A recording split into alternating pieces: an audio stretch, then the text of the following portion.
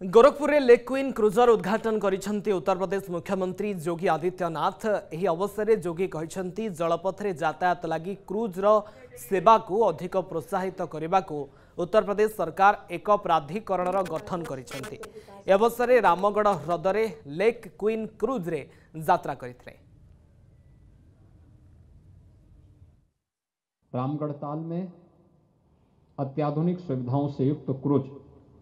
की सेवा यह दो मंजिला क्रूज आपको यहाँ पर पहली बार देखने को मिला होगा, जिसमें प्रथम तल पर रेस्टोरेंट भी है, द्वितीय तल में फाइन डाइनिंग का है, सांस्कृतिक कार्यक्रम का भी इसमें आयोजन हो सकता है, और 100 टूरिस्ट एक साथ इस क्रूज में, इसका आनंद ले सकते हैं, इसमें यात्रा कर सकते हैं। जो सबसे बड़ी बात यह है कि स्थानीय श्रमिकों ने इस क्रूज को यहाँ पर तैयार करने में अपना योगदान दिया है। जदि आपंक आम भिडी भल लगा तेब आम चैनल को लाइक, शेयर और सब्सक्राइब करने को जमा भी भूलु नहीं।